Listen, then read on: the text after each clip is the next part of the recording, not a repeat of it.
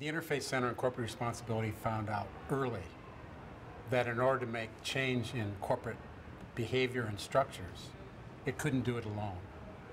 So first, the faith-based organizations had natural allies and partners, partly because they were part of the same institution. So you had religious orders that had groups in Zimbabwe or in India or in Hong Kong.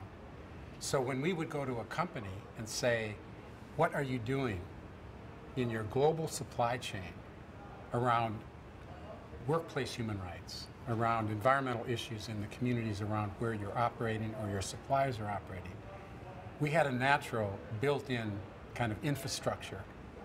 It's not enough to just have a policy that's adopted. What's the impact on the ground? So it's so important in, to have net, a network, a global network of organizations that can provide feedback. Is it real? Is it working? And how is it affecting, you know, improvements? And in, take any issue, and we've developed relationships. Uh, one project we worked on that helped, helped set the bar in the 90s on global principles called Principles for Global Corporate Responsibility.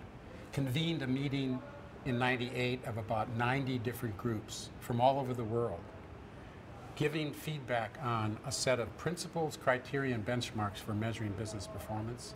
So uh, South Africa, the, the, uh, the, the Episcopal Church, the Anglican Church there, uh, got involved, and then they formed benchmarks uh, for social responsibility in Southern Africa.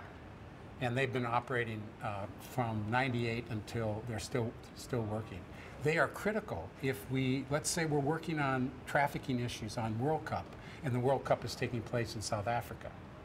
There's a built-in infrastructure of groups that then we can call on to help support the work that we're trying to do to get companies to adopt human trafficking or anti-human trafficking policies. On issues related to global supply chains, Hong Kong Christian Industrial Committee that does reports based on worker interviews in factories in China helps to re, sort of reinforce the, the question, is the policy, the code that's being adopted, implementing in, implemented in a certain way that helps uh, workers improve their lives. So now the, I think now the critical issue is the uh, global multi-stakeholder initiative.